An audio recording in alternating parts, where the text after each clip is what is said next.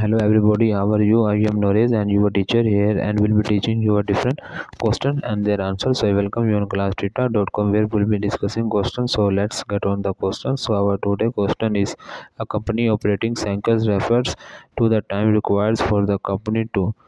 The correct answer of the questions is separate spends cash to provide goods and service then collect from customers so that the answer of the question if you are searching any other questions please visit www.classtheta.com and find on the search sections. If you have any question to ask there an ask section on the right side of the website.